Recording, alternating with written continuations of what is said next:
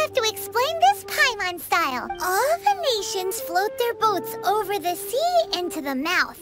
The harbor goes, om nom nom nom nom,